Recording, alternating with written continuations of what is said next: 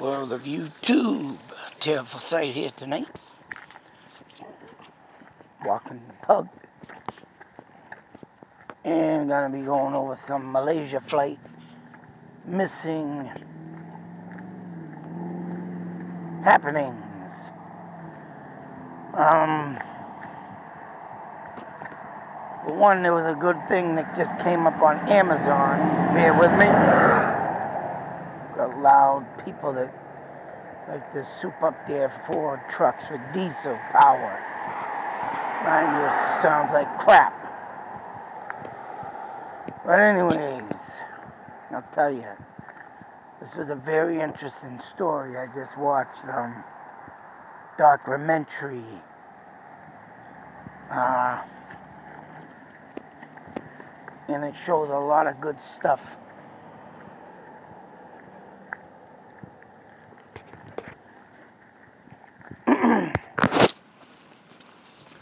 Especially some flight patterns the uh, Malaysian flight took. I know I haven't done this in a while. I was supposed to look more into it, but there really wasn't nothing on it of what I've already, you know, done. But due this came out and I watched, you know, just got done watching it. It was very interesting. And why they say this pilot went crazy, let alone if he did it because of a, a man who uh, went to court. There's this guy. Whoops. Oops, bear with me. Oh, that's the uh, pilot there. Many, many hours of flight pattern for this guy. Uh, of course, hours, of course, matter and flight time for you to even fly one of these huge, big old, uh, you know, planes. Supposedly this guy, I forgot what it said. He did. I have to look it up because it's a word I don't use every day. But uh, he supposedly did something, went to jail for it, and it was said that the, you know, that pilot here went, say so mad, and took the people on the plane in protest for this man here. a lot of things came out in this thing and what is, like I said, very interesting. This is a stimu flight, flight stimulator that a lot of pilots, I guess, out there or literally even here make for themselves. I assume uh, to practice. Uh, this was something he made this excuse me pilot made himself and it was to learn how to do, you know, practice doing emergency landings, I guess. Um, and as you can see, he's sitting in front of it. He'd have his friends come over and posted it all over on Facebook. So, they, I mean, they ruled this, I think, out because you know, he wasn't, his, even his friends or his brother-in-laws on this. If anybody wants to watch this, I advise you to, but his brother-in-law was saying, and another friend of his, that he did not make this the, you know, to do any type of, you know, crazy stunt to pull down a plane or whatnot, like he did or how he, or whatever the case may be. I mean, this could have been a friggin' UFO or its own triangle out there of a disappearance.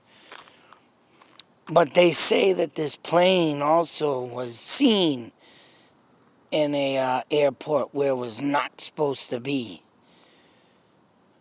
But it came out to be a um, what is it like a, like a shadow thing you would call it, or a I got it on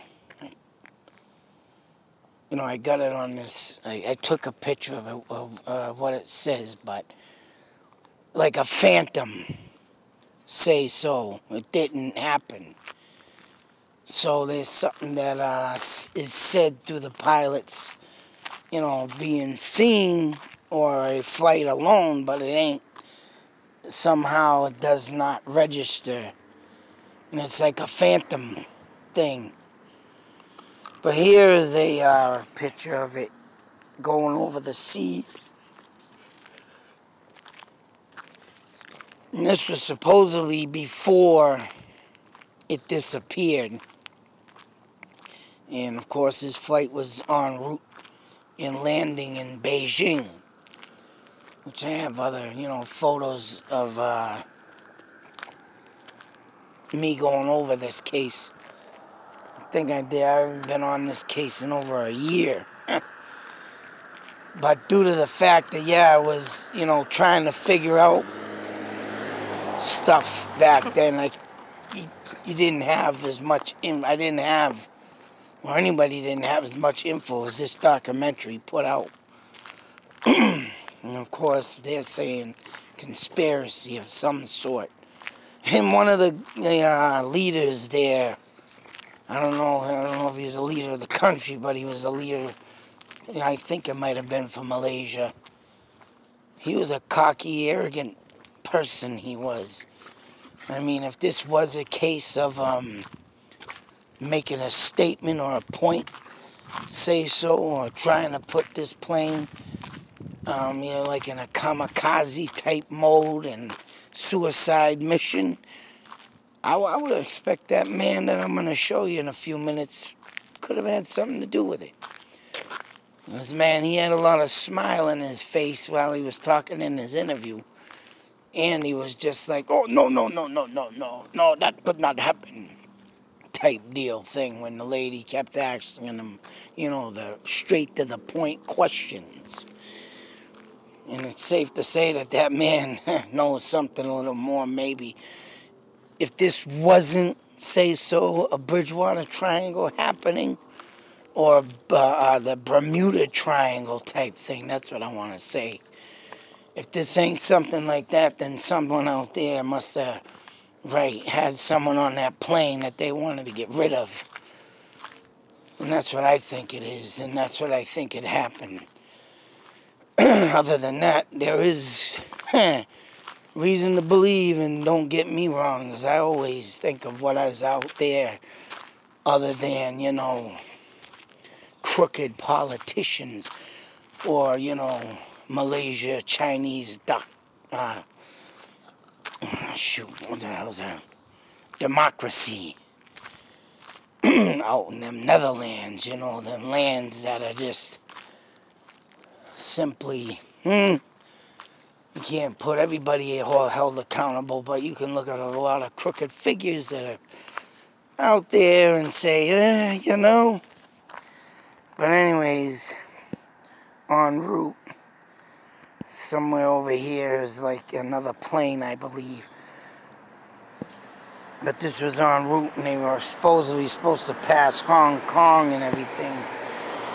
And then they show the beeping indicator light there. And then it goes on missing like so as you know. Some are saying this and for whatever reason how this exists is you know very insane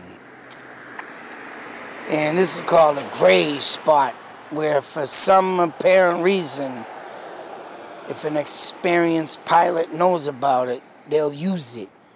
And this will make the plane disappear somehow. Then you got these two locators like near where they took it off from Malaysia. Um, going over Vietnam is in that in the top circle. Well, actually, I got my pen here. I actually got to save off my other phone this, and this is great. So over here is Vietnam, and then you got Malaysia down here. And um, the plane is supposedly in this gray spot. So with that being said, you know, this would make the uh, sense of the um, plane turning erratically like it did. But you know, at the end of all this, they say that this plane ended up off the coast of Australia, which is very strange to me. You're gonna tell me at 8.15, and that's another thing, this guy, let me get a picture of him up. And all over here, they got these um, reports of 203. And this is where I think it was saying, um, information, uh, Malaysia, that where they were, right? I believe it was 146 was the last time they were heard of. Um, they did say good night because I guess the Malaysia flight was saying good night um, due to the fact that, right, it was nighttime when they were flying and, you know, AM of the morning, as you can see the timeline. But after they shut off, I guess 90 seconds, supposedly 90 seconds is where the crucial part of, you know, this, uh, I mean, like I say, this all shows stuff of, um, and this is where it's saying it was like in a Cambodian airspace. There it is. But, where is that? Flying in a Cambodian, Cam, yeah, Cambodian airspace, and then it says uh, where is it?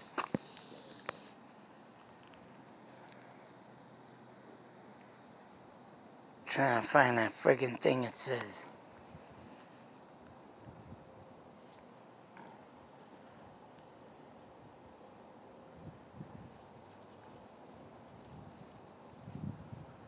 Unable to extinguish. Where did it go?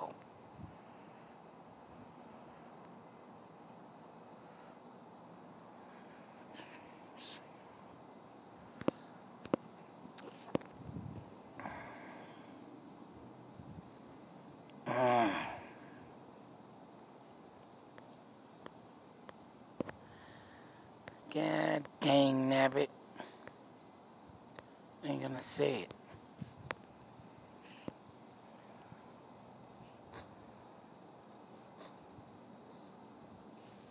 Where Oh, projection, there it is. Was based on flight projection. Meaning that they see on the radar but right, it's like a phantom. It's not there. Projection. And this would be like a projector, though, like you see on a wall. And say, like the movie It, when they're running the projector on the wall and he ain't there, but he is. Type thing. And it, it's very uh, insane, you know, to see this in writing, to see this exist, to see what the hell why a plane, this huge plane, is seen in a projection but don't exist. I mean, that's enough to make you scratch your head and sit there and, you know, take 20 times over the lap of um, disbelief to say, what the hell are they talking about? Projection. And it, you know,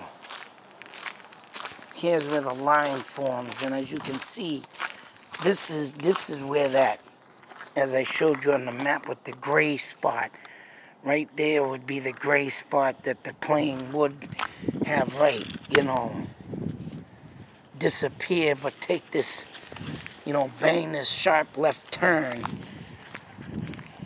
And um, to somehow disappear. And it's going on here that it says it flew, you know, these were images before, and as you can see flying and it bangs on right, and it's going further out.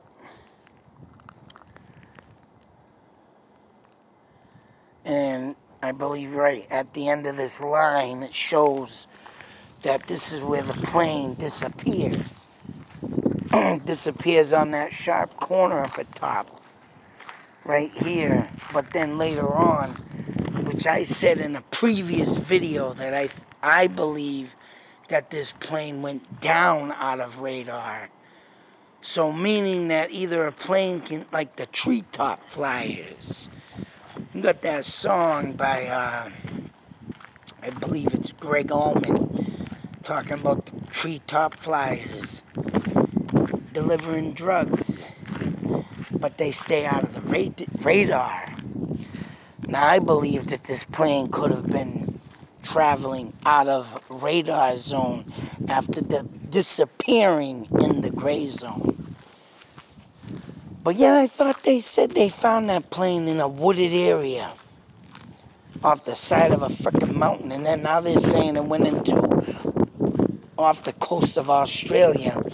In this new documentary, mind you, and I could have sworn that I said uh, in a previous video on this in one of my last ones or so that, yeah, they said they found it in the side of the frickin' mountain.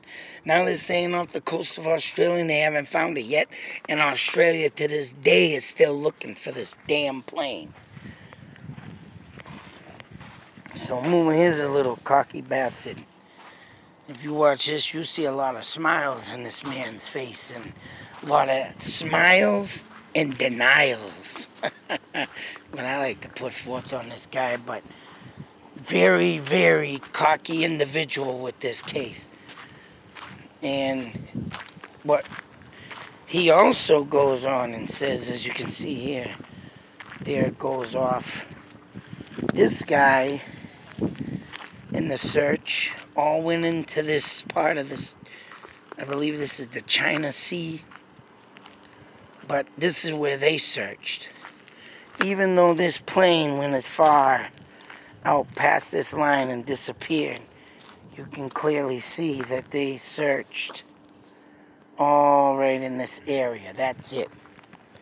They didn't go off on this side over here to search, let alone off to Australia. But how they got this and one thing he does deny too. Oh, where the hell is that switch? Dang it.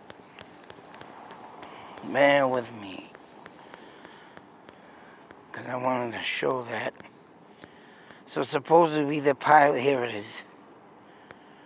Two things in this flight.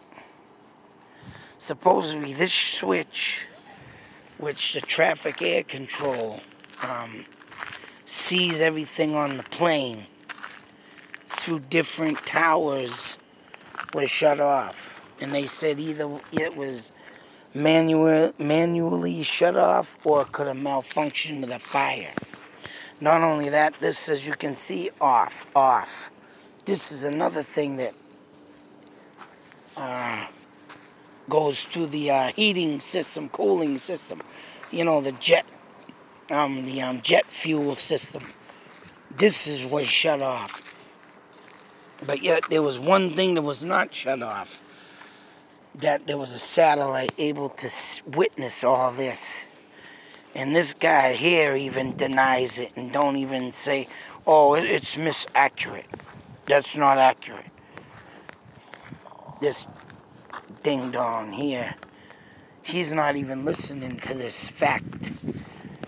Because it was something that was not and was, if it was you know, manually done. And if this was some kind of, uh, you know, thing to kill people, one thing the pilot is supposed to be expert on and would only know how to shut that system down that I just showed you, the switch and everything.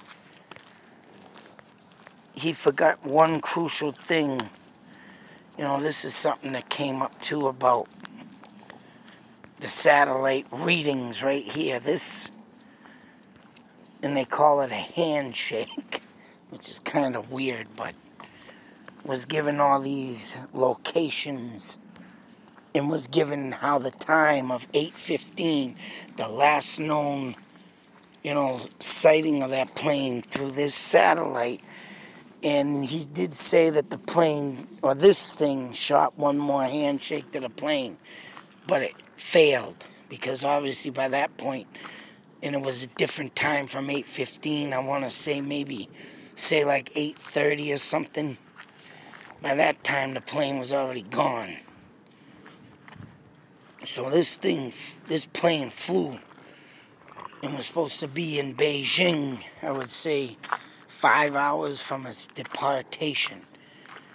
And by, yeah, 1.46 a.m. in the morning, as you can see in the beginning of this, it was already disappearing in its midst of, you know, being either hijacked or malfunctions.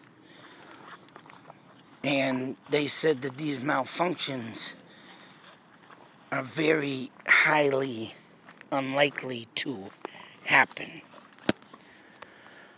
And this is what it was showing. It would grow bigger in the uh, video, but as you can see, it was to say 5 something in the morning, but that little um, ping off the plane there, whatever the pilot forgot to do, this thing was handshaking with that radar. And uh, that's how they knew that thing was still going. But why so long? And if it did disappear at that sharp turn and then come up later on showing like I showed you in the last photo of it disappearing further out into the sea and then they say it finally comes out to the off the coast of the Indian Sea near Australia was it a mental breakdown or was there something more sinister going on than that? Who knows? Maybe there, maybe there was some aliens mind controlling the plane and controlling it. Maybe. But wherever that freaking plane is, come on. It, it it's only obvious. And then they show, here's the thing they show where the radar was showing um, how this plane was that little yellow spot there obviously was the last known place. But then they're claiming it was up over there too, from north to south, these spots. And like I say, I do remember saying it was up in some jungle area up there. And that's where they were supposedly found it, I thought. But then again, you got this spot down here like I say, I could have sworn someone said they found that up there in the jungle, but now it's saying down here, and that was where it would be right now, being off the coast of Australia. Like I said up here, I thought there was some jungles that I remember saying that they were up, and they supposedly found the wreckage, but now they're saying in this documentary they didn't find nothing. So that right there is even bizarre. So, I mean, it still is a very piece of mis- mystery of history that's going to go down into the um, unknown regions of life. oh, man. Who knows where this damn thing went? Who knows what the pilot even, even if he did have a mental breakdown, or if they just got controlled and sent around in some Hell, even they could have been even be remote controlled somehow. And, um, you know, by the government out there, by that guy I showed you, little cocky man he is. Remote controlled. I didn't hear nothing of that, but if that's the case, who knows? Alien life form? Crooked government? Or whatever they call themselves out there it is something, man, to think about, and it still is to this day. It ain't no different than a goddamn missing person case. What is really going on in this world, folks? And who was really on that plane? Could have been a public figure we don't even know of that was, you know, leading to take someone down in corruption and had to be taken care of. But we'll never know. Very interesting though case, man. But until that next video, here we sit. And I need to know if there is maybe, maybe some let's call it the Australia Triangle. But then again, it leaves that question that I say all the time. What's beneath us? What could be beneath us out that way too? Think about it, folks. Just think about it. Till that next video, be safe, take care, and always beware. You don't know what this world is capable of doing and sucking us up into, folks. That's right. Gotta beware what's beneath us. Out.